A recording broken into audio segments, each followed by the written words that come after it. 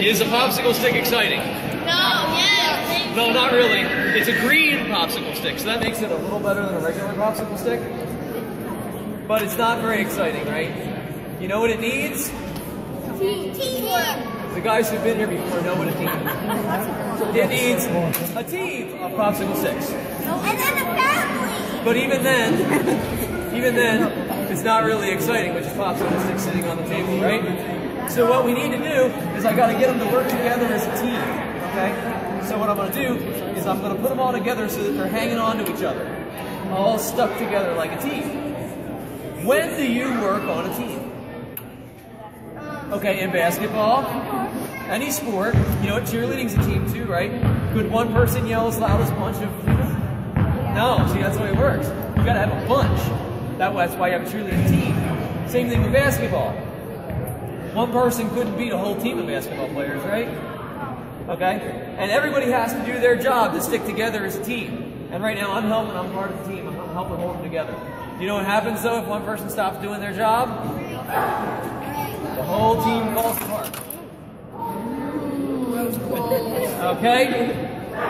So, but you know what? We don't just have teams on sports. We have teams other times too. Like your family, that's a team. Friends are your team. Your church is your team. So what I need to do is make a bigger team.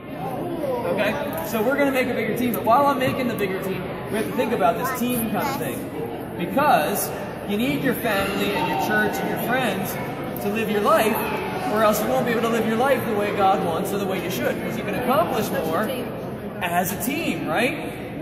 When you have a team, you can do way more stuff, way cooler stuff, and way better stuff, okay? Now, but when I really think about it, I think about the Bible. And you know what I see in there? I see that when Jesus was on earth, you know one of the first things he did was?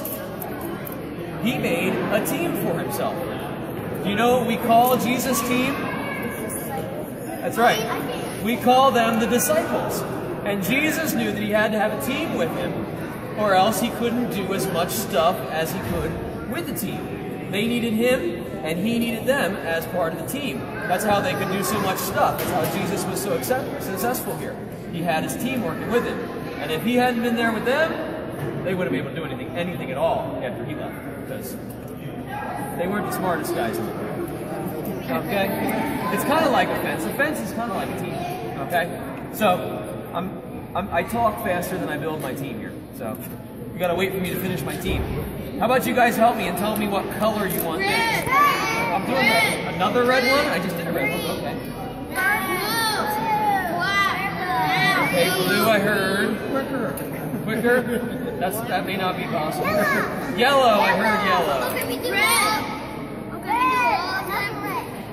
Red, okay, red. Yellow.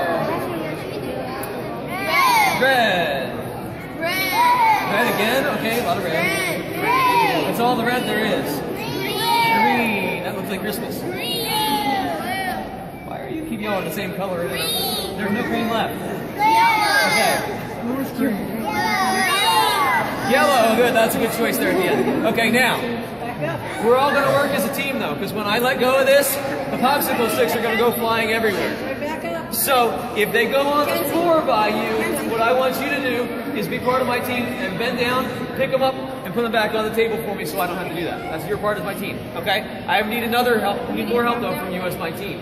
What we're going to do is we're going to count to three really loud, and then I'll let go. Can we do that? Okay, you ready? One, two, three! Pick them up, put them on the table.